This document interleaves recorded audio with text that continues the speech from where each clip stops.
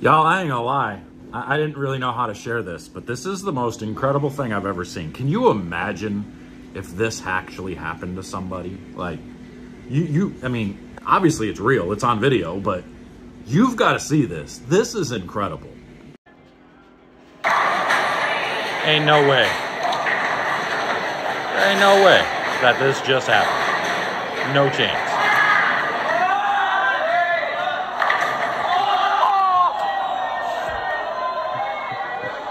What? Yo, and that's for 297. Like, that's the kicker. He had front 11. And all of a sudden, his ball decides to 5 7 10. Like, I would have, I would love, absolutely love to have seen his previous, I don't know, what, three, four frames. Like, did they start to hit worse and worse? Were they, were they getting fluffy? Was he throwing a pillow there at the end? Like, what's going on here? Because that thing hit like a wet noodle. That's incredible. Like, I don't even know what I would do. Like, what would I? I, I don't know. Like, you just bowled 297 and you just 5 7 10. You're moving to a new pair. Do you change balls?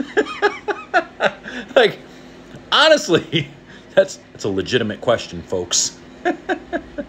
what would you do? What would you do? Tell me in the comments.